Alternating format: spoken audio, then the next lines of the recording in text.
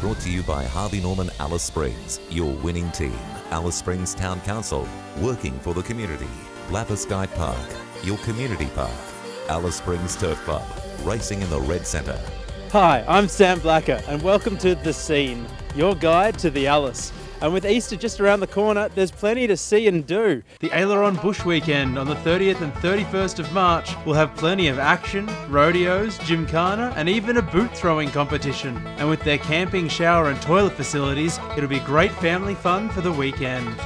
And with the weekend coming up, why not consider going for a camping trip? I had a chat with John from Desert Dwellers. Over the Easter break, we'll hope that uh, it's going to be some nice cooler weather. Ruby Gorge, out past Tunga. It's a nice drive out there, beautiful scenery, uh, also running waters. A couple of items also to take out, stove, chair, fridge, probably our Desert Dwellers cream. If we don't have it, you don't need it.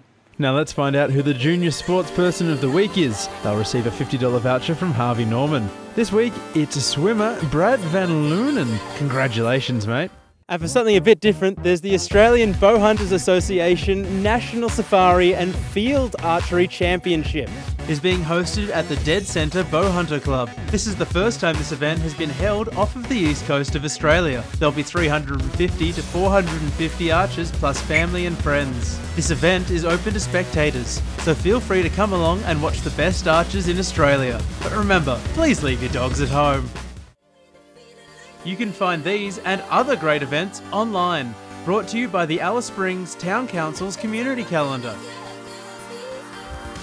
That's the scene in the Alice for this week. Proudly brought to you by Southern Cross Television. See you next time. The Scene.